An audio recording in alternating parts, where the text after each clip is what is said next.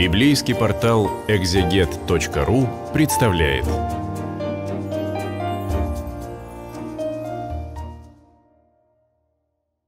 Сегодня на библейском портале «Экзегет» мы продолжаем изучение Псалтыри царя Давида. «Господи, помяни царя Давида и всю кротость его». В православной э, толковой Библии э, дается информация о 70-м псалме, который сегодня мы будем читать. Означенный псалом в еврейской Библии не имеет надписания имени автора. У 70 же и в Вульгате он э, приписывается Давиду. Причем добавляются э, сынов Иона э, Вановых и первых пленшихся. Достоверность надписания о принадлежности псалма Давиду опирается на те заимствования, которые он представляет в своем содержании из псалмов, точно принадлежащих Давиду. Так он, 70-й псалом, сходен с псалмами 21, 30, 34, 40, 68 и 108. Этот э, псалом имеет надписание по Септуагинте в переводе Юнгерова «Псалом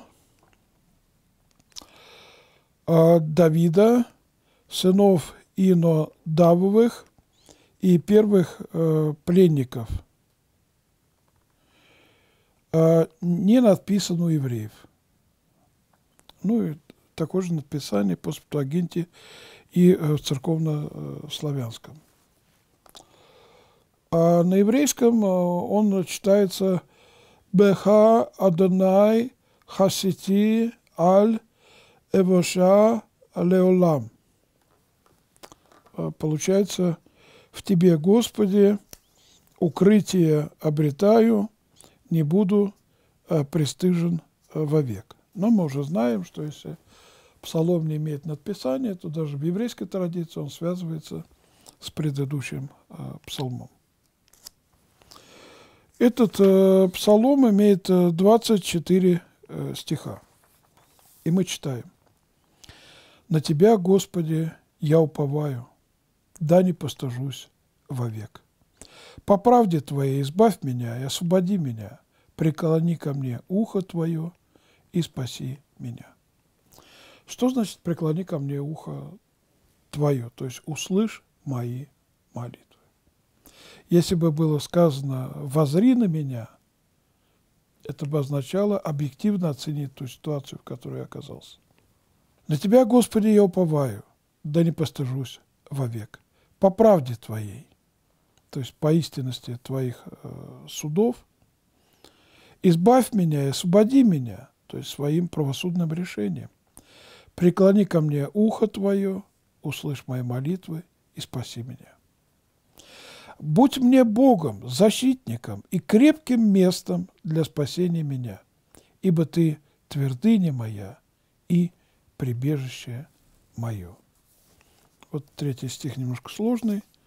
А, посмотрим, как он звучит с еврейского. «Будь мне скалою, обителью, куда э, приходить мне всегда. Ты велишь спасти меня, ибо мой утес – и моя крепость – ты. Поэтому, когда э, по Септуагинте мы читаем «защитником и крепким местом э, будь мне», имеется в виду как скала, которая становится местом убежища для нас, когда Господь э, сообщает нам свою защиту, свою поддержку. И далее, «Боже мой, избавь меня от руки грешника и от э, руки законопреступника и обидчика». Ну, главный грешник – это, конечно, антихрист, и э, главный законопреступник и обидчик верующих – тоже антихрист. Поэтому эта молитва, она относится к самым тяжелым временам, э, когда воцарится главный грешник на земле. Ибо Ты упование мое, Господи, Господи, надежда моя от юности моей.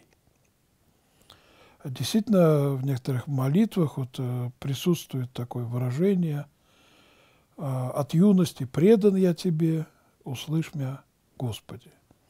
И среди верующих есть э, много таких, которые из, дет, из детского возраста, из детска они преданно служат Богу, молятся, призывают Его святое имя. На тебя а, уповаю, как бы сказать э, Давид, от юности моей, то есть от самого нежного а, возраста своего. И шестой стих. «На тебе утвердился я от утробы, от чрева матери моей». То есть сначала он говорит о юности, как о нежном возрасте, а потом он говорит на самом деле раньше. «На тебе утвердился я от утробы, от чрева матери моей, ты мой покровитель, а тебе песнь моя всегда. Действительно, когда мы были э, в утробах наших матерей, Господь уже имел замысел о каждом э, из нас, когда еще ни одного дня не было в нашей жизни, э, Господь уже сосчитал все дни, предназначенные для нас. И как бы мы родились на Божий свет, если бы не были зачаты – если бы роды прошли бы неудачно. Мы не стали выкидышами, мы живыми вошли в этот мир. Для многих я стал как бы дивом, для многих я стал как бы э, дивом, по-славянски яко чудо, то есть э, предметом удивления. Но ты крепкий помощник мой – да наполнятся уста мои хвалою Тебе, да воспою славу Твою во весь день э, великолепия э, Твое. Что это за день? Э, во весь день имеется в виду во все дни жизни.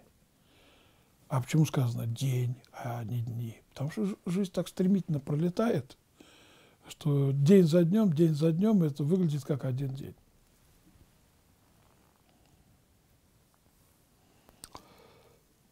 И э, далее мы э, читаем «Не отвергни меня во время старости, когда будет оскудевать крепость моя, не оставь меня».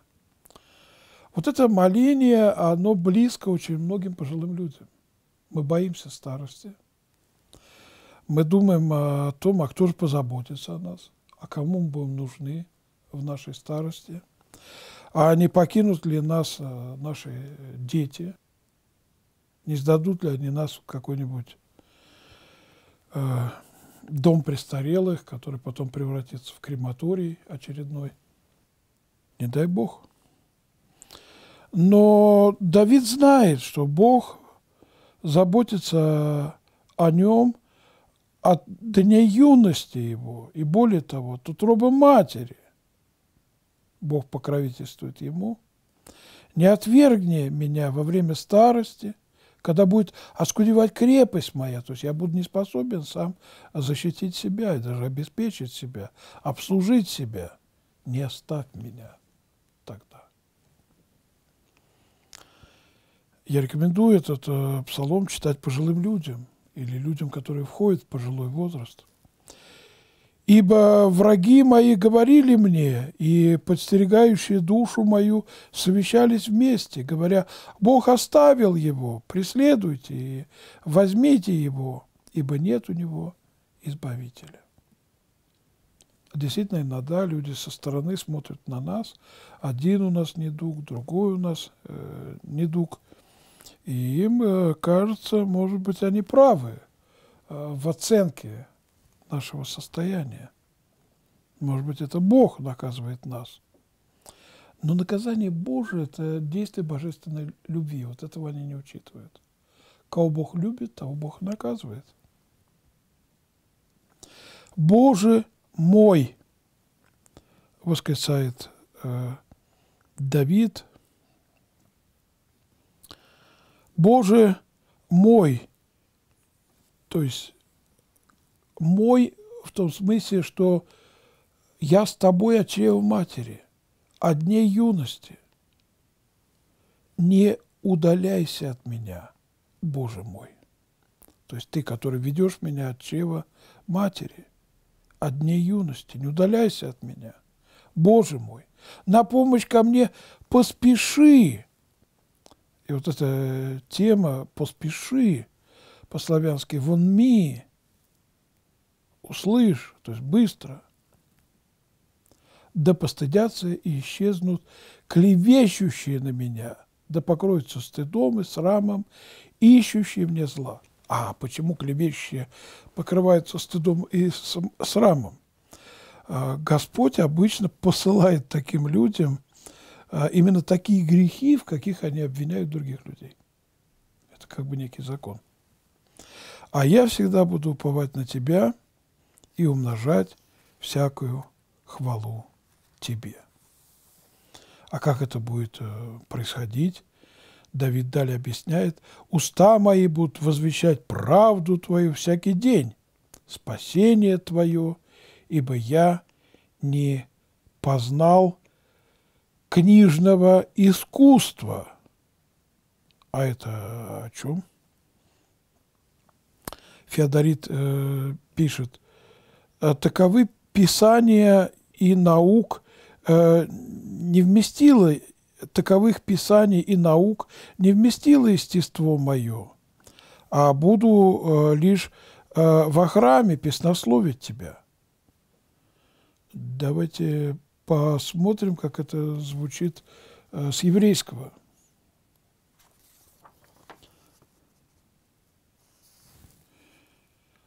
Значит, по Септуагинте уста мои будут возвещать правду Твою всякий день, спасение Твое, ибо я не познал книжного искусства. А мои уста расскажут о праведности Твоей всякий день, о Твоем спасении, ибо тому я не знаю числа. То есть, тут здесь как-то перекликается книжное искусство и знание числа – а с чем это связано? Скорее всего, с тем, что в еврейском, точно так же, как и в славянском, и в греческом, буквы, они же числа, а числа, они же буквы. То есть каждое слово имеет числовое значение, а, то, что называется гематрия. «Войду во храм в силе Господней», то есть своих сил не хватает, а вот э, с помощью Божией войду во храм, Господи, буду вспоминать правду Тебя единого. Вот в чем э, правда, это вера в божественное единство, то есть исключительность Бога.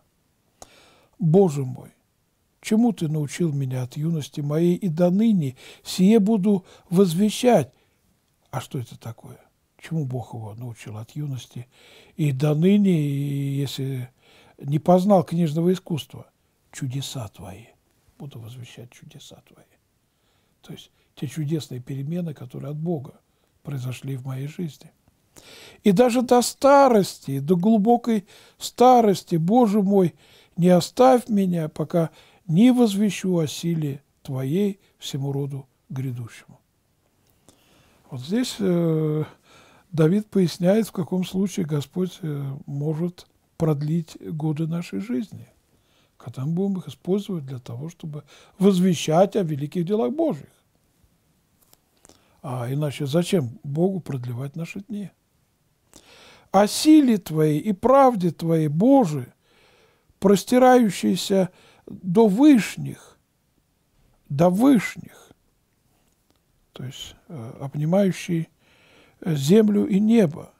Велики дела, которые ты сотворил для меня, Боже. Кто подобен тебе? То есть он прежде всего говорит о том, что Бог сотворил с ним в его жизни. Бог, который оберегает его от чрева матери, от дней юности. Боже, кто подобен тебе? И 20 стих и ниже.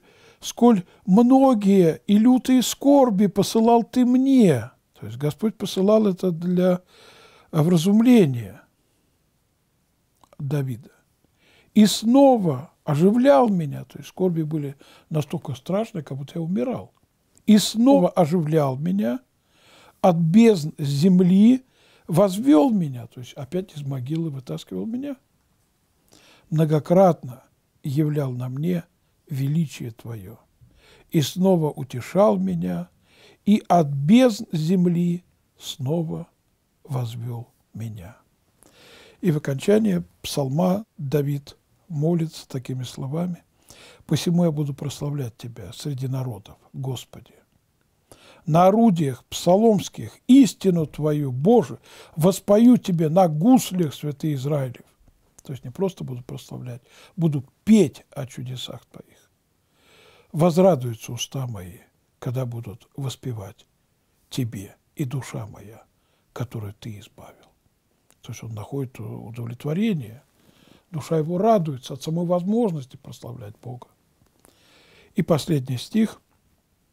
«А также язык мой весь день будет возвещать о правде Твоей, когда постыдятся и усрамятся ищущие мне зла». То есть есть за что благодарить Бога, э, Бога, который бережет его от чрева матери – до дней старости и дает ему долгие годы жизни, чтобы он прославлял Бога, не умолкая.